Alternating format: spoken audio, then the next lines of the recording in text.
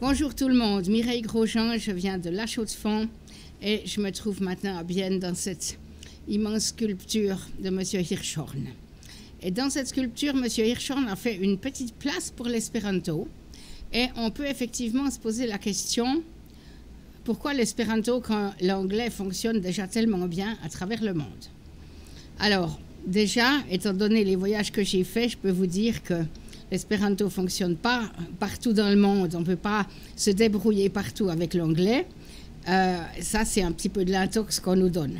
J'étais au Japon et les Japonais me disaient What is your name? What is your age? Where do you come from? Puis c'était terminé.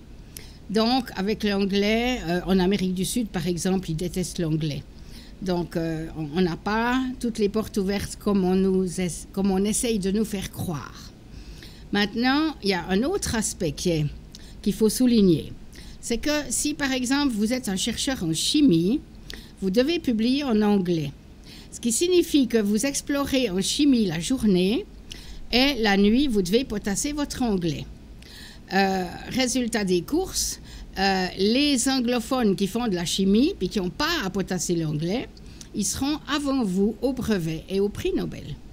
Et ça, c'est une situation, c'est la situation actuelle, qui est en fait, si vous réfléchissez, qui est foncièrement injuste.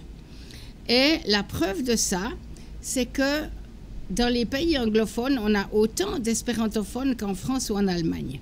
Ce sont des gens anglophones qui n'ont pas à apprendre l'anglais, ils le savent de naissance, mais ils, ils se rendent compte de cette injustice, ils se mettent à l'espéranto, ils propagent l'espéranto, parce que l'espéranto, tout le monde doit l'apprendre. C'est une langue qui a été créée comme langue internationale. Euh, si vous prenez n'importe quelle langue nationale, puis que vous l'élevez au rang de langue internationale, ce sera injuste, toujours. Dans le temps, on a eu le latin, on a eu le français, la langue de la diplomatie. Euh, maintenant, on a l'anglais. Euh, j'entends parler autour de moi que ça pourrait devenir le chinois on aura toujours le même problème, que les gens de cette langue seront avantagés. Et quand on est sensible à cette euh, injustice dans le monde, on se dit que l'espéranto pourrait en fait jouer son rôle de langue internationale, c'est-à-dire de passe-partout. Exactement comme un propriétaire d'hôtel qui a 100 chambres, il n'a pas 100 clés, il a une seule clé qui ouvre toutes les chambres. Donc, avec l'espéranto, les langues, évidemment, restent et on aurait ce euh, passe-partout. Maintenant, je dis on aurait, mais je devrais dire on a parce qu'il fonctionne. Moi, j'ai déjà pu voyager, j'ai habité six mois au Japon dans 22 familles. C'était en 2008-2009. J'étais en 2012 de nouveau au Japon dans 30 familles. On a cette possibilité de contact avec l'espéranto dans pratiquement tous les pays du monde, c'est-à-dire maintenant dans à peu près 130 pays. On trouve des locuteurs de l'espéranto. Donc l'espéranto fonctionne bien, on peut l'apprendre sur Duolingo.